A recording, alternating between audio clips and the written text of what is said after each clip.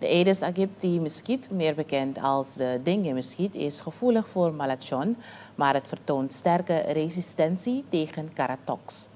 Dat houdt in dat zij ongevoelig zijn voor een bepaalde dosis van dit middel. Dit blijkt uit een onderzoek dat gedaan is in juni 2023 in het resort Weg naar Zee door de Antonicum Universiteit in samenwerking met het BOG. De data geeft het BOG de inzichten om evidence-based besluiten te nemen bij het bepalen van de beste bestrijdingsstrategie per gebied. Het onderzoek zal uitbreiden tot meerdere resorten en bij voldoende middelen ook naar andere districten.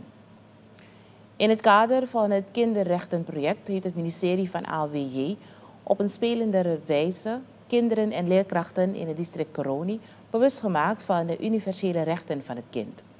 Dit geschiedde afgelopen vrijdag in het multifunctioneel centrum te Totnes. De kinderen hebben onder andere geleerd dat onderwijs genieten een recht is dat niemand hen mag onthouden. Voorts dat zij bescherming dienen te genieten van hun ouders, leerkrachten en de overheid tegen mishandeling en geweld. Bij deze gelegenheid heeft minister Stephen McAndrew het belang van de universele rechten van het kind voor het Surinaamse kind benadrukt. Het hoofdkantoor van de douane wordt afgebouwd. Hiertoe heeft op 3 augustus de ondertekening van de dienstverleningsovereenkomst plaatsgevonden tussen het ministerie van Openbare Werken en degene die met het project belast zal zijn. De werkzaamheden voor de opzet van het hoofdkantoor liggen al geruime tijd stil.